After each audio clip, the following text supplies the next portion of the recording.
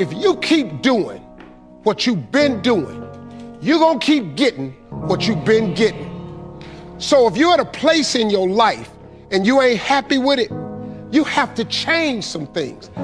But you have to make a conscientious decision that you're going to change. And it's not dependent on anybody else.